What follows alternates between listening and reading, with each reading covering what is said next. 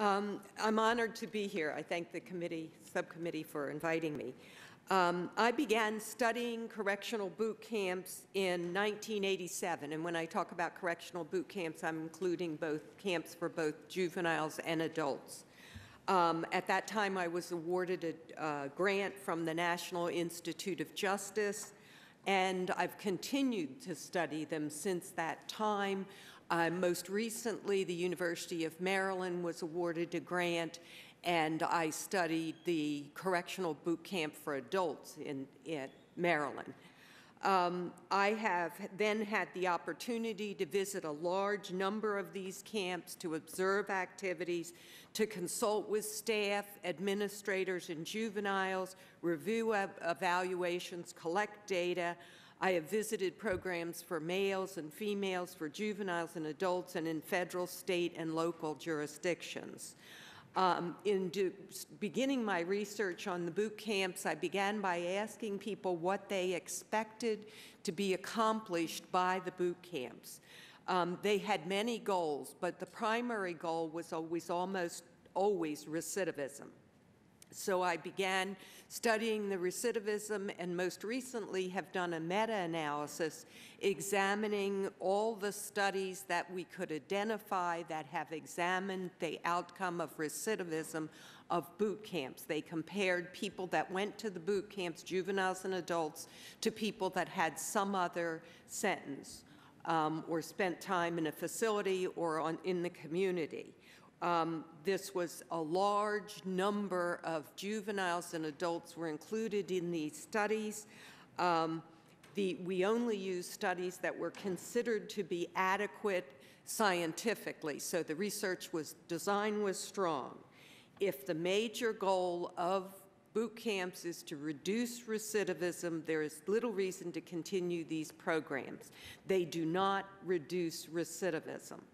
Um, this has been the continual result that I found from my earliest studies to this examination of all the studies that I could eh, find in a meta-analysis. Um, there is no evidence that they successfully reduce recidivism. People do have other goals of the programs, though, and so I've also tried to examine the other goals. One of them was to reduce prison crowding. People expected the programs to reduce prison crowding, partly because they would reduce recidivism, which of course they don't, but also by releasing the offenders and delinquents early if they took part in this rigorous boot camp program.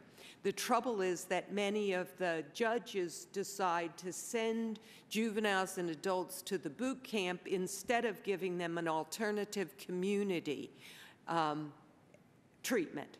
So instead of sending them on to probation, they end up giving them, putting them into a prison, incarcerating them in these boot camps or net widening. The other area that we studied in the boot camps was to look at the environment of the boot camps. We did find some positive results from the boot camps. If we looked at the environments, the juveniles and staff evaluated the program as more positive, the boot camp programs. The trouble is we were comparing them to the traditional facilities of the juveniles where there are large facilities, not small, not small programs as they had for the boot camps. Um, the, you also must remember when we study and are allowed in the boot camps, we're allowed in those that are probably less apt to provide, to be abusive and have better trained staff. Um, I have just recently done a review of what works in corrections, looking at a large number of correctional programs, including the boot camps. I identified 284 studies that have adequate research designs, and that's very important because much research in corrections is very poorly done.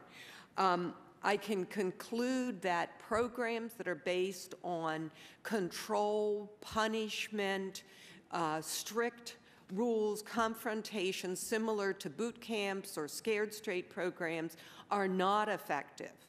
However, we do have programs that are effective. These are the programs that we refer to as rehabilitation, education, drug courts, drug treatment, cognitive skills programs. We do have programs that reduce recidivism, but boot camps are not something that reduces recidivism.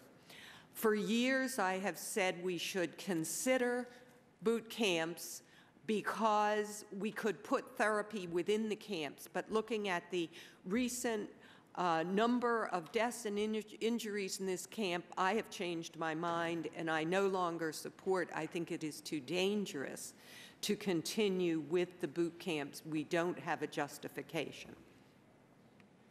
Thank you very much, uh, Professor McKenzie. Representative Gibson. Thank you. Thank you, Mr. Chair and members of the committee. And certainly, I want to thank my uh, Congresswoman for inviting me today. Um, I want to cover uh, a couple of points that I kind of took out of my um, testimony.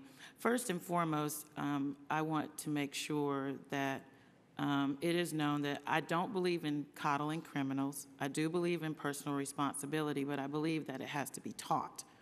And I don't think that boot camps um, in any way, shape, of, or form teaches that to our young people.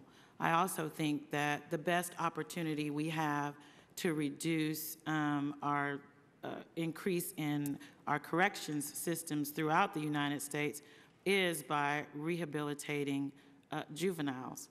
Um, I think that we all know that the African American population is overrepresented overrepresented in our correction system for adults as well as juveniles. And so therein lies, I think, the, the comments that there is great concern for African American children while there is concern for all children. Um, I don't think that there is enough mental health um, programming within the con confines of a boot camp. And largely, um, most of these children that go into boot camps are poor children. Their health has not been monitored over the years, and so they go into a program that primarily focuses on rigorous physical activity. The other issue has to do with it being um, run by sheriff's offices, or, or as it was stated earlier, it's, it's a state-run type of program, which doesn't, in my mind, mean that we shouldn't have national outcry, but we certainly should have standards, or should have had, because I certainly don't believe or support the continuation of boot camps, but there has to be, or there should have been, I'm sorry, a standard of training um, within the facilities so that we did not have the deaths that we have had.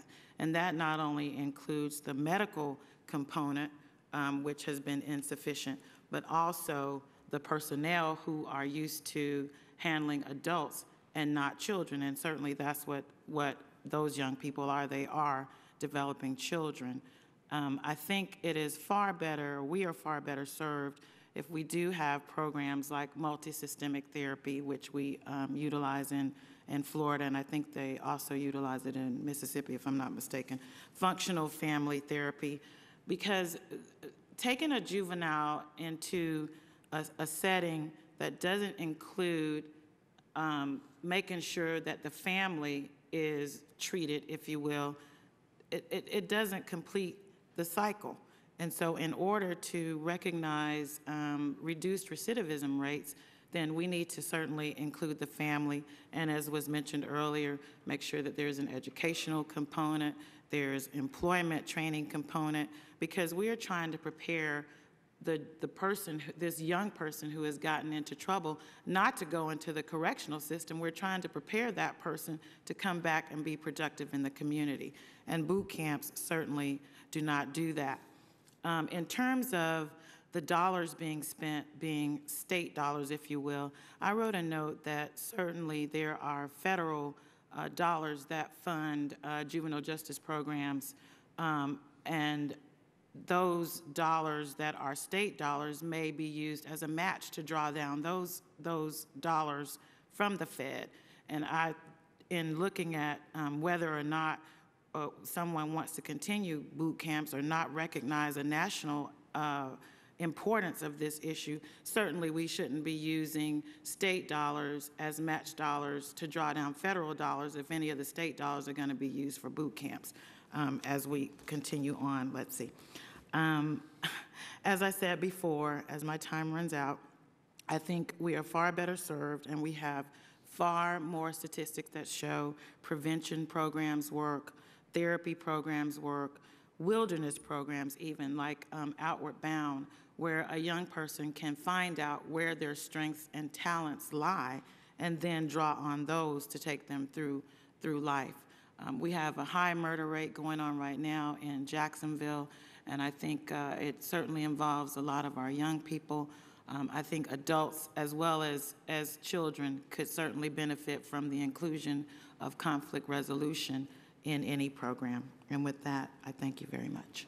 Thank you, Representative uh, Gibson. Now we'll have um, rounds of questions from uh, members. We limit ourselves two to five minutes, and I'll recognize myself. First, um, Professor McKenzie, just on the question of recidivism, uh, you've indicated on several occasions that recidivism, that there is no reduction in recidivism compared to, at boot camps compared to other facilities.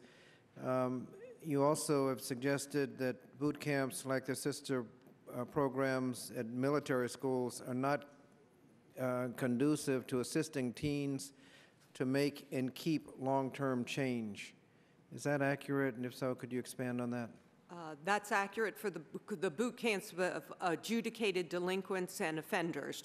There's no evidence that, the overall evidence is that they do not reduce recidivism. They don't change the uh, the delinquents so that they don't continue in a criminal activity.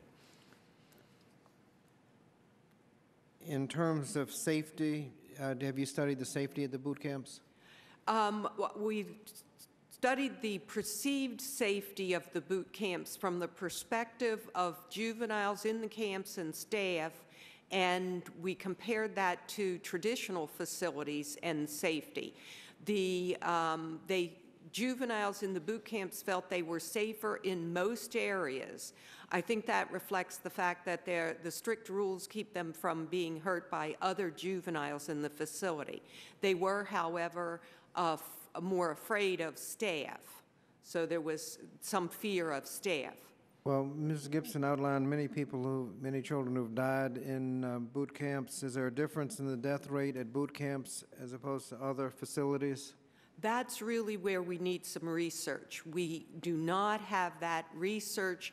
The other thing is we don't really have a very good handle on how many boot camps are still there because there are state boot camps, but there are also many that are run by um, local jurisdictions. So we need to know where they are and then compare the, the injury and death rates in the camps to the other facilities where these young people would be. Uh, You mentioned local, local government run. What about privately run? And there are also privately run. And we- usually and- contracted with And, government. and we don't know whether or not there's a difference in private or local-run facilities in terms of safety? Um, As far as their reported safety, we did not find any differences between the juvenile programs that were run by um, public or private, not-for-profit. And, and if there's no difference in um, recidivism, are the boot camps cheaper than the alternatives? The boot camps are only cheaper if the people are released after serving a shorter period of time. Um, And the concern here is net widening. Many of the judges make the decision to send someone into the boot camp instead of an alternative like probation. That makes it much more expensive. So some state systems for adults have used it to reduce their prison population. Uh, New York State in particular, because of the uh, Rockefeller drug laws, have u- has used their boot camp for adults to release people earlier, and they report some savings. But they have an enormous number of people um, that they put through the boot camp in a year, 5,000. Um, In comparison, the small programs run for juveniles are probably not saving any money. Thank, thank you. Uh, Representative Gibson, you serve on the Juvenile Justice Committee, or is that a subcommittee?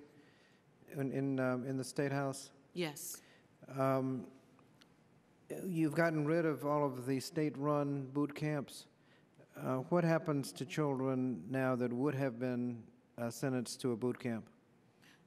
They're either um, house arrest, because boot camps in Florida were for nonviolent offenders, and so they're either house arrest or um, probation, community probation, or detention centers.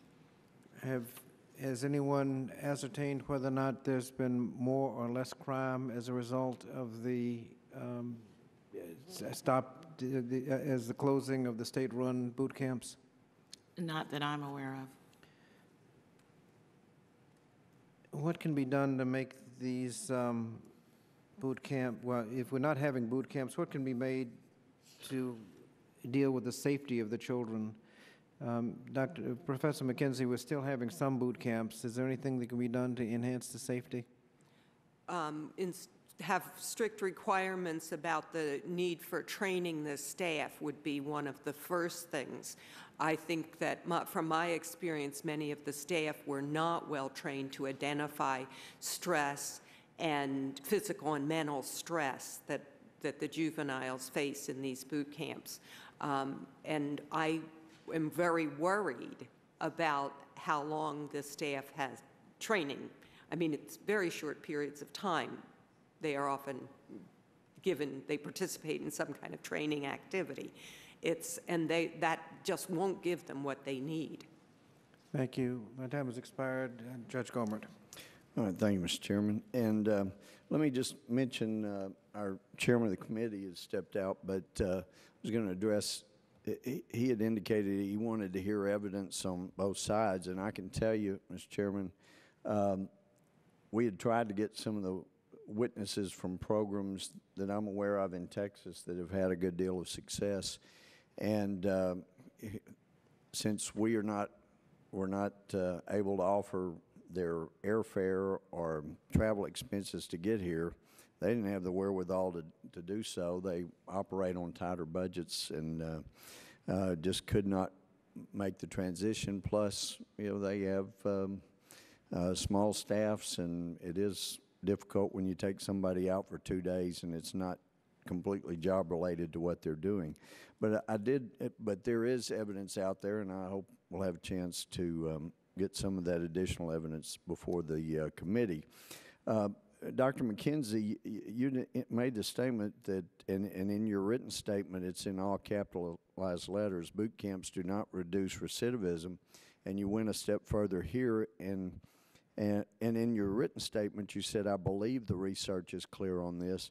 But you went a step further than that, and went, and I always understanding as I do that testifying falsely here is a crime that, uh, you know, I, and I guess the old judge comes out when somebody makes a statement that is so bold. You went beyond that. You said there is no evidence they reduce recidivism. So I'm, since I'm familiar with some places where they have reduced recidivism, let me just ask you: Are you not aware of one single boot camp anywhere in the nation that has actually reduced recidivism? I'm aware of some boot camp studies that have shown a reduction in recidivism. I, I'm talking about one boot camp anywhere in the country that itself reduced recidivism among those who have come through that boot camp.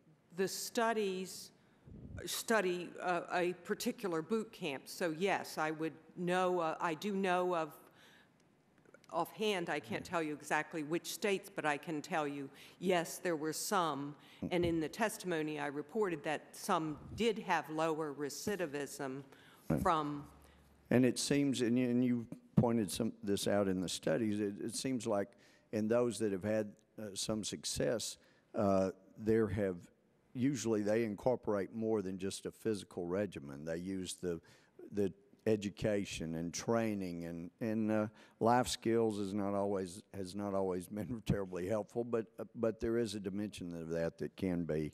Uh, and I wanted to be sure if you were aware of those or not. But uh, you also said you were allowed in boot camps that were less apt to be abusive. Did you make attempts to be in boot camps you knew were more abusive? We attempted to go into every juvenile boot camp that was in existence when we started the study of the environments of juvenile boot camps Is that just in Florida or all across the country? across the country. Uh, That's a lot of boot camps. You, you At made inquiry of every, I, I gave the numbers in here. It was about 48 or 49 Okay. um, boot camps at that point that we could identify.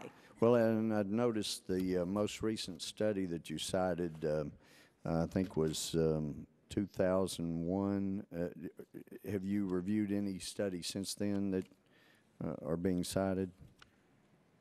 Um, re- Reviewed studies, Well, I I was the just, recidivism or?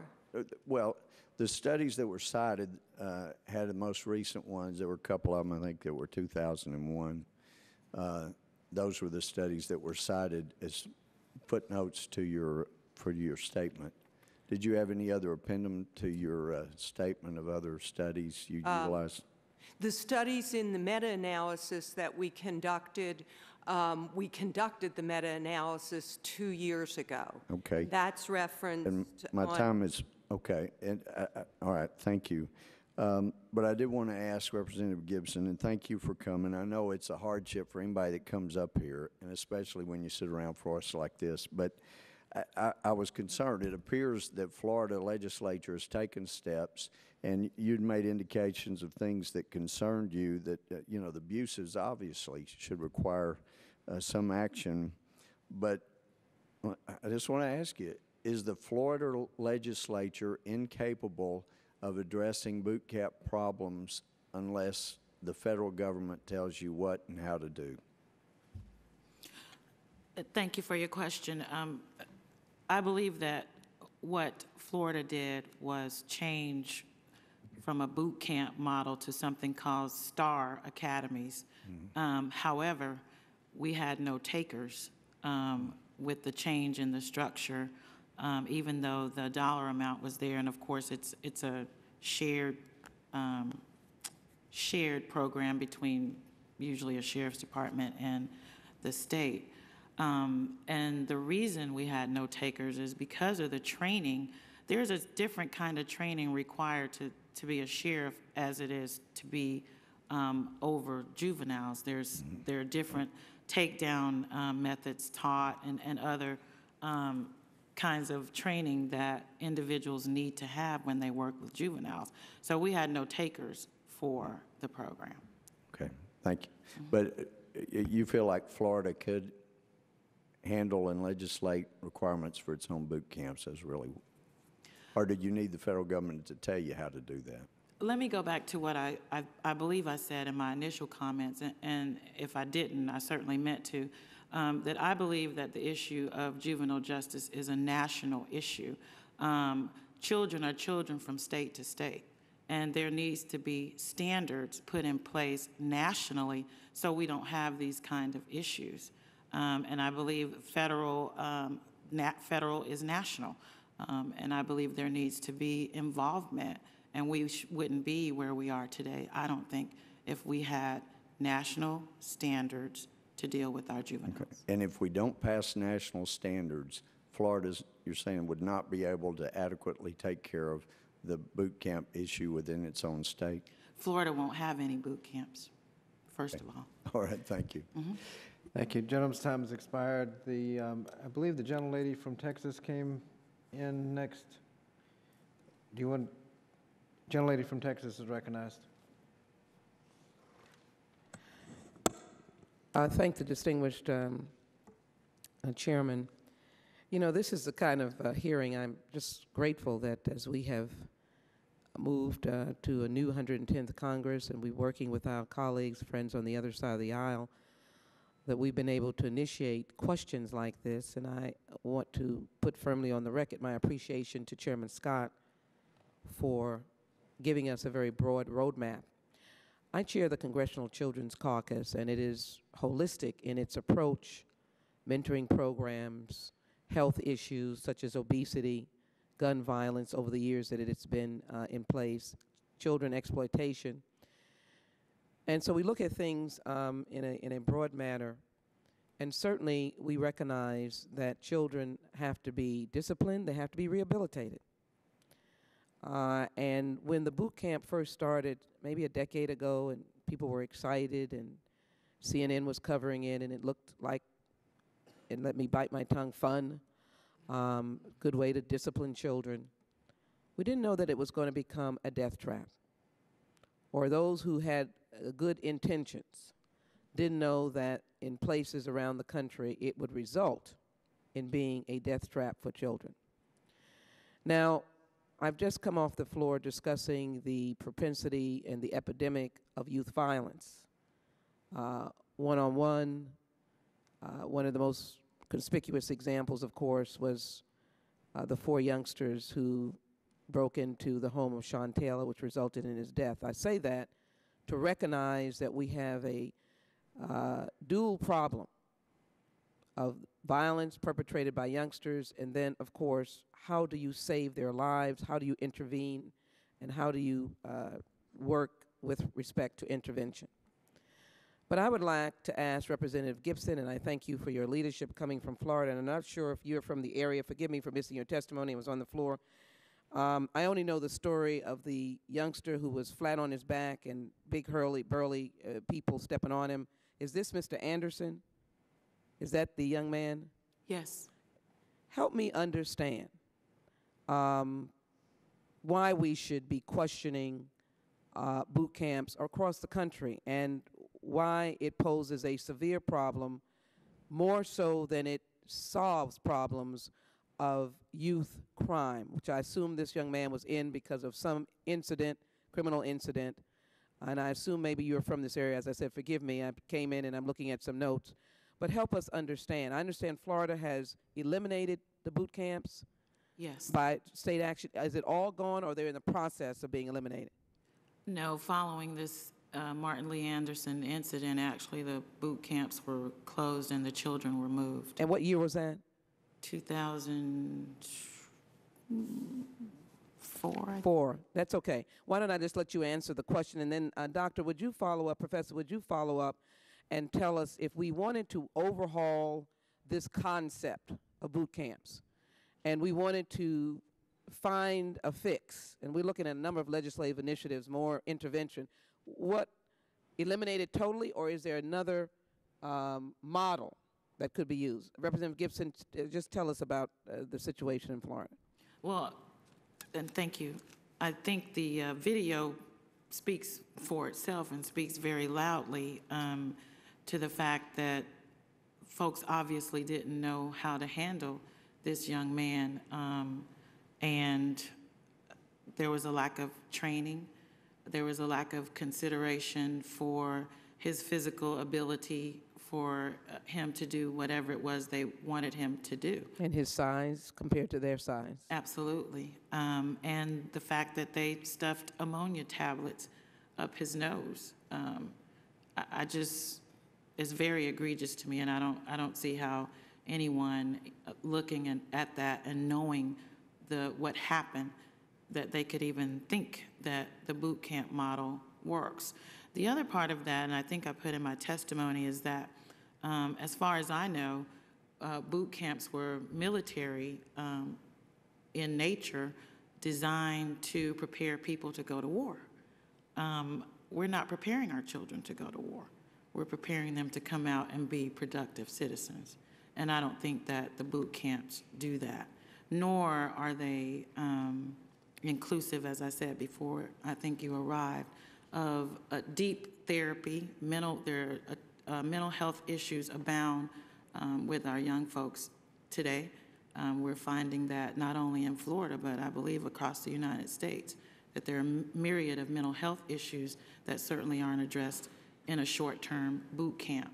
Um, and the recidivism rate that I think we're after with our taxpayer dollars is not recognized. And the aftercare programs that some of the boot camps have had, the, um, the programs are very fragmented. And so it, there's no help, actually, for the child or the family.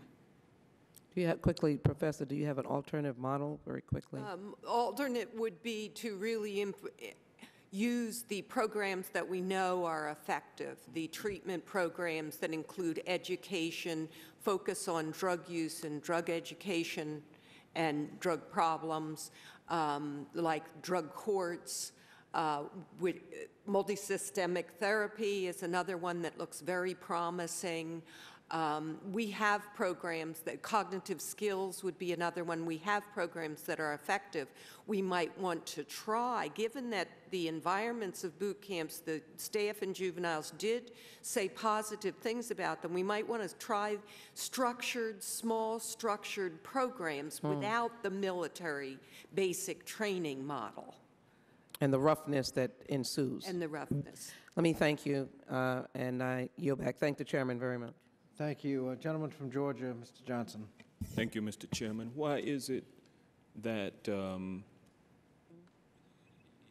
roughness would not work in terms of uh, discipline, in terms of physical um, requirements? In other words, do the push-ups, do the sit-ups, do the chin-ups, do the laps as part of the disciplinary pro- process, as part of the uh, teaching of respect uh, of authority that uh, sometimes many young men and women are missing, um, and which can contribute to them being thrust into the uh, juvenile justice system. Uh, for a, uh, a rebellious young person who has had no disciplinary uh, guidance, um, who may not have achieved on a physical level, uh, may never have done a push up or sit up, uh, and who basically lacks respect for authority, couldn't boot camp, if properly administered and if, if, if supplemented with, uh, with uh, various uh, psychological training methods and that kind of thing, couldn't it uh, be something that could be positive? Or, or is it, and I'm at this question for both of you all, or is it just the, the whole boot camp model uh, needs to be uh, just done away with because it has no merit whatsoever? Uh, Is that what I hear you all saying? And I'm sorry that I was not here at the beginning of the, uh, of the, um, uh, of your testimony, so I didn't hear. And I'm kind of asking this question uh, out of some skepticism of tidbits of what I've heard just sitting here so far, and also uh, probably a, a, a lack of uh, knowledge about uh, how to positively impact juveniles who have gone astray. So I'll, I'll listen to your responses. Spare the rod, spoil the child, you know, those kind of things that we've heard. Um, you know, talk to me. Let me start by saying this. I'm the mother of, of two sons that I raised by myself. Um, both of them have graduated from college, and I didn't spare the rod nor the, nor the mouth. um, in terms of physical activity as a way of um, disciplining young people, I, I don't think that it should be used that way. Well, And I- it, I it may may- not be just to discipline them. It, it may be to give them some discipline and also give them a means of, uh, of achieving something and becoming more physical, that helping with, uh, with the psychosomatic issues. In other words, I can achieve physically, I'm strong, you know, I can commit myself to more positive pursuits as opposed to what got me in trouble in the first place. I I can, made- I can become uh, Michael Jordan or somebody because I can achieve physically. I made references earlier, um, before you came, to successes of wilderness-type programs and outward-bound programs, and there's a, another program in Florida called About Face that's run by our National Guard. And these programs do have a physical component, rope climbing and things of that nature, but they also focus on team building and trust in addition to the physical component, which is not present in a boot camp. If you get up uh, at, oh, dark 30, I call it, and are immediately subjected to uh, running the track in the heat or just push-ups, and uh, that, to me, does not um, instill discipline and doesn't uh, allow a, a child to totally tap into some talents they may find in, in the rope climbing or in the canoeing or, or being out in the wilderness communing with nature, if you will. Nothing positive about it at all. Getting up early in the morning, ha- being required to do some laps. There's, there, as I said before, there does appear to be some positive attitudes in the boot camp towards the staff and um, the staff towards the juveniles. So there, there is something positive. My worry is with these injuries and deaths in the camp that the military, putting that basic training model in, isn't effective. My research would say that it doesn't have an influence on later criminal activities. It's not criminogenic. Learning to change physically isn't really going to change you to keep you away from a life of crime. You may need consequences for your actions, and that may be beneficial, but we could do many of these things in a different model of a juvenile facility, not using the basic training military model. Thank, you very much. Let me just follow up with one, one quick question. The ranking member, uh, Judge Gohmert, mentioned some of the aspects of programs that seem to work. That is, when you have a boot camp with just the physical activities, it doesn't seem to work. But when you add in education, some of the psychological services, mental health perhaps, when you have uh, that, particularly the education, that it makes a positive difference. That is also what I've been led to believe. Is that what research shows? Uh, The research in that area is very limited. We don't have enough information, and the programs don't appear to be um, very extensive in, in the boot camps. So the, the research, I would not make a strong statement about whether the boot camps that now exist that have treatment and therapy within the camps have an impact on recidivism. It's questionable at this point, the results of the research.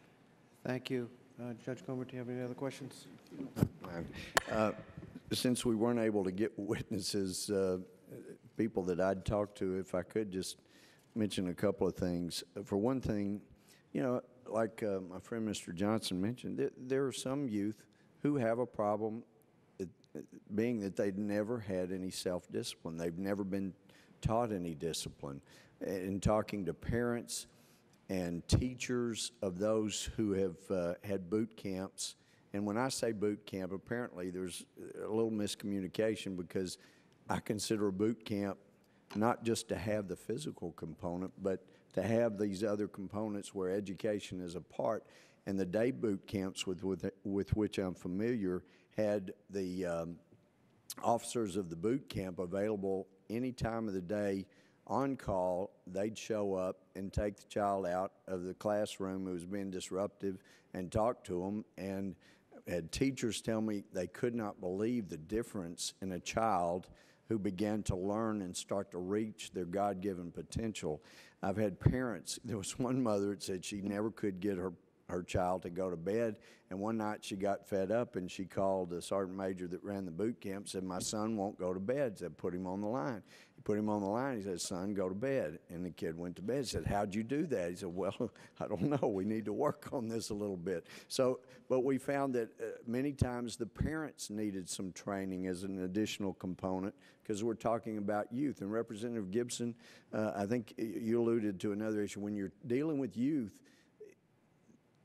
training becomes all the more critical because, and, and Dr. MacKenzie, that you're dealing with uh, a different, these are not hardened adults. These are still um, moldable children.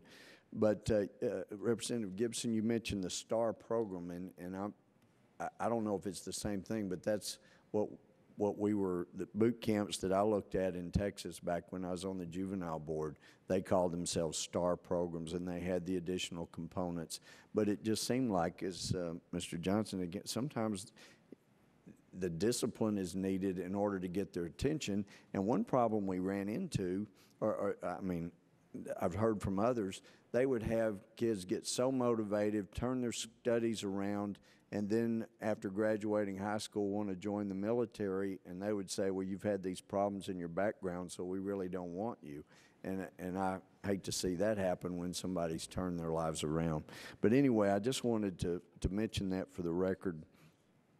I, I've heard some, some great stories of people turned around, but certainly the, uh, the detriment of losing a precious child uh, requires extra training, requires extra accountability and, and monitoring. And uh, I I appreciate the opportunity to mention these other aspects. Thank you, Mr. Chairman. Thank you. And I'd like to thank our witnesses for their testimony today. Um, Members may have additional questions to, to ask. They'll be submitted to you in writing, and we would ask you to forward your answers as promptly as possible so they can be made uh, part of the record. And without objection, the hearing record will remain open for one week for the submission of additional materials, and I assume the gentleman from Texas may have additional statements.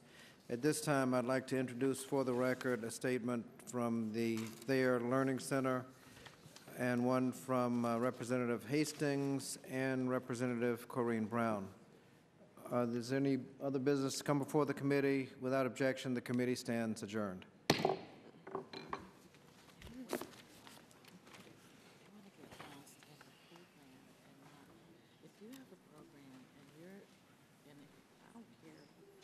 Shows results.